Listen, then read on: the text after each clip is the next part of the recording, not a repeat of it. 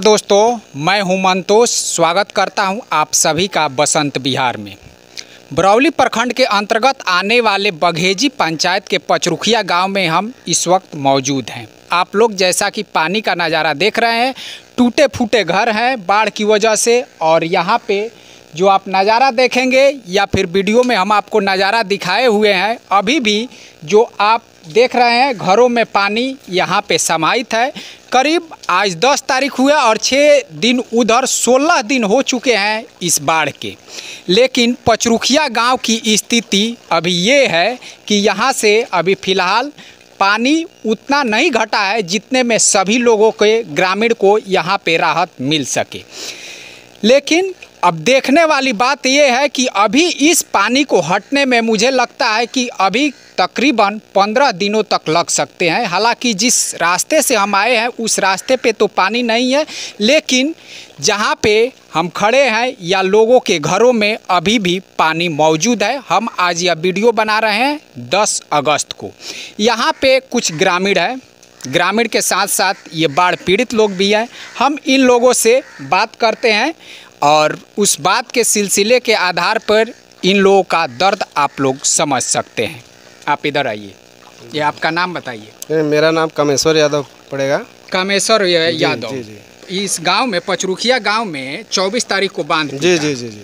किस तारीख को यहाँ पे पानी हम लोग का पच्चीस तारीख को सुबह 25 पानी आ गया। सुबह जी, में जी, पानी जी, आ गया। सामान वगैरह निकाल सके? जी सामान उमान कुछ निकाल सके हैं। और कुछ कुछ- कुछ बर्बाद हो गया है। मवेशी का चारा वगैरह सब बर्बाद हो चुका है। जब पानी पूरी तरीके से भरा। हुआ था तो आप लोग कहाँ पे रह रहे थे? हम लोग पानी भरा था तो छत पर हम लोग रह रहे थे। छत पे? जी जी। खाने पीने का जो व्यवस्था है वो किस तरह से आप लोग कर रहे थे?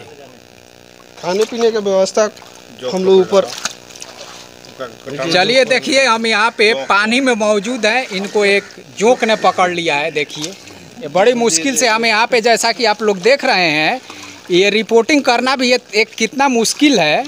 ये एक थोड़ा हम चाहेंगे कि थोड़ा सूखे में हम लोग चल चले ताकि कम से कम वो उस पलानी पे एक टूटी हुई पलानी है।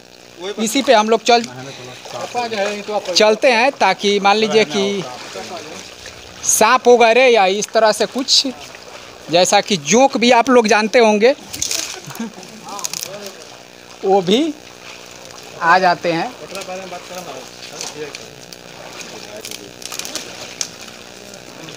तो चलिए हम आ चुके हैं यहाँ पे।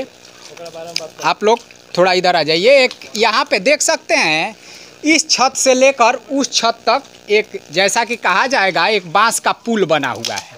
ताकि आने जाने में क्योंकि नीचे जो है वो पूरी तरीके से पानी भरा हुआ है। लेकिन ऊपर से आने जाने के लिए एक इस तरह का इस हालाँकि इस बाढ़ में मैं पहली बार ऐसा सीढ़ी देख रहा हूँ। इसको हम पुल कहेंगे। तो आप लोग देख रहे हैं कि कितनी मुसीबत है यहाँ पे। यहाँ पे हमारे साथ मौजूद है उपेंद्र तिवारी जी। तिवारी जी आप यहाँ पे आइए। थोड़ा और नज़दीक आ जाइए।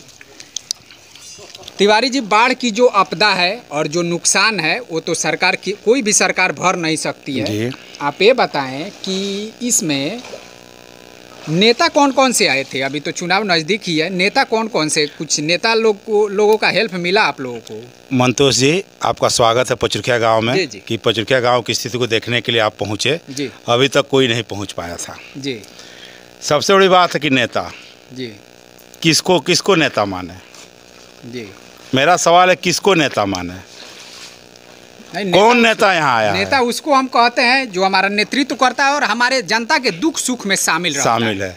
तो हमें तो लग रहा है कि बरौली प्रखंड में कोई नेता ही नहीं है जो कि जनता के दुख सुख में शामिल हो। जी जी।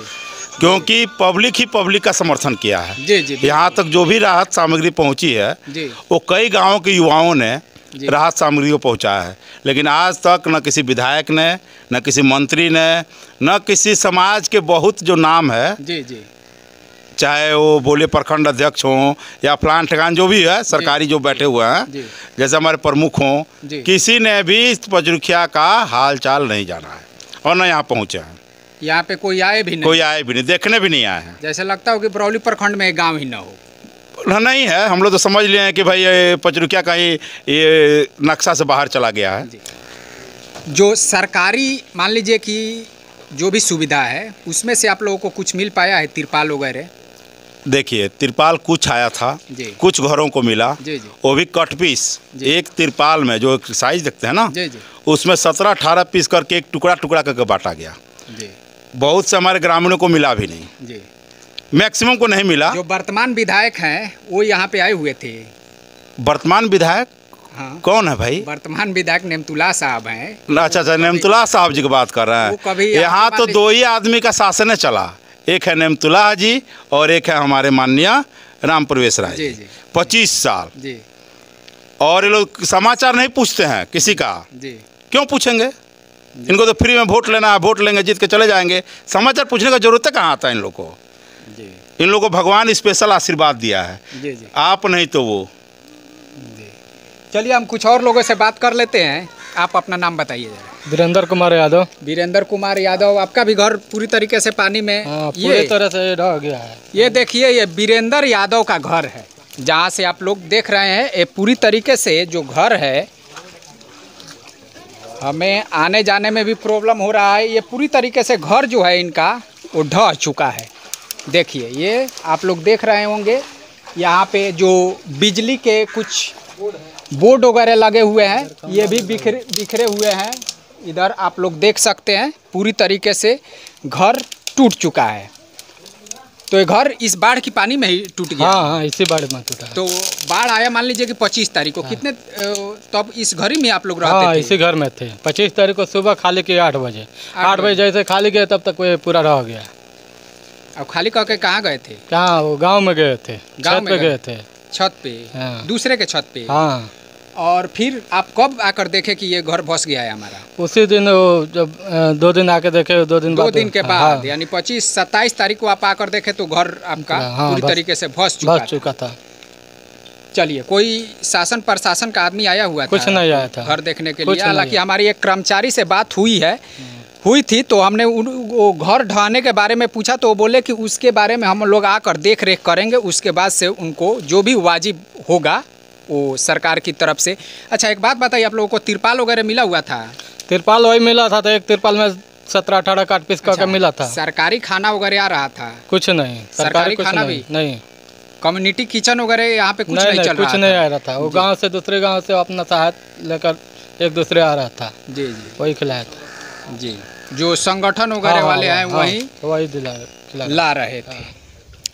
तो जैसा कि आप लोग देख रहे हैं यहाँ पे ये पचरुखी गाँव का यह पचरुखिया गाँव का ये हालात है। यहाँ पे पलानी बिखरा हुआ पड़ा है कहीं पे घर बिखरा हुआ पड़ा है। अभी जो बेरी आप देखेंगे उसमें भूसे हैं लेकिन वो पूरी तरीके से पानी से भींग चुके हैं। ये है यहाँ के हालात हालाँकि हमें वीडियो के कमेंट में, दूसरे कमेंट में कई बार कहा गया था कि आप थोड़ा पचरुखिया में आए। इसलिए हम यहाँ पे आए और जो आज भी बाढ़, बाँध टूटने के पंद्रह दिनों के बाद भी हम यहाँ पे आए हुए हैं। तो हालात यहाँ पे जो है वो बहुत ही नाजुक हैं। जो लोग हैं, वो अभी भी पूरी तरीके से परेशान है और जो सरकार है तो सरकार तो अब क्या इन लोगों के नुकसान की भरपाई करेगी? लेकिन इस पूरी बाढ़ में जो जनता का भूमिका रहा है, हालाँकि मैं अपने हर एक वीडियो में कहता हूँ और जहाँ भी जाता हूँ, वहाँ पे लोग यही कहते हैं कि जो जनता की भूमिका रहा है, जो समाज सेवी सेवियों की भूमिका रहा है, वो किसी नेता, शासन, प्रशासन से बहुत ही बेहतरीन भूमिका रहा है। आप थोड़ा आगे आइए तिवारी जी कुछ कहना चाहते हैं। यहाँ एक सबसे बड़ा दुखद विषय है जी। कि हम लोग अपने आप को भगवान के भरोसे छोड़ दिए। और हमारे यहाँ भगवान ही डूब गया। जी। सबसे बड़ी दुख है हमारे यहाँ भगवान ही डूब गया है जी, जी। और हम लोग अपने आप को भगवान के भरोसे छोड़ दिए। अब हम लोग क्या करें? ये मेरा पहला प्रश्न है। चलिए चलिए अब जो भी हालात हैं मुझे लगता है कि यहाँ पे अभी पानी हटने में फ़िलहाल 10 से 12 दिनों का टाइम यहाँ पे लग सकता है। आपदाएँ इंसान पे आती रहती है और इंसान उस आपदाओं के अनुकूल खुद को ढालता रहता है। ऐसी कितना हूँ, आपदाएँ आई हुई है इंसान पे, लेकिन इंसान का अस्तित्व को नहीं मिटा पाई है। इंसान किसी न किसी रास्ते अपना अस्तित्व बचाए रखता है और इस भूमिका को आप लोग देख सकते हैं इस पचरुखिया गाँव में, जो कि बाढ़ से पूरी तरीके से डूब जाने के बावजूद भी ये लोग फ़िलहाल यहाँ पे, जैसा कि आप लोग यहाँ पे भी देख सकते हैं, छतों पे और जैसे तैसे गुजर करके, हालाँकि अब जो नेता वोट लेने के लिए आएँगे, उन लोगों के साथ ये क्या व्यवहार करेंगे, ये तो ऑफ़ कैमरा हमें बहुत कुछ बोल रहे थे, लेकिन अब देखना होगा कि नेताओं के साथ ये लोग क्या दुर्व्यवहार करते हैं। तो चलिए दोस्तों, अब इन्हीं सारी कथनों के साथ हम अपने वीडियो को यहीं पे विराम लगाते हैं। कैमरामैन कलीमुल्लाह के साथ मैं मंतोष ब्रौली पच बघेजी पंचायत पंचरुखिया, चलिए हम फिर मिलेंगे अगले वीडियो में अगले टॉपिक के साथ, तब तक के लिए नमस्कार।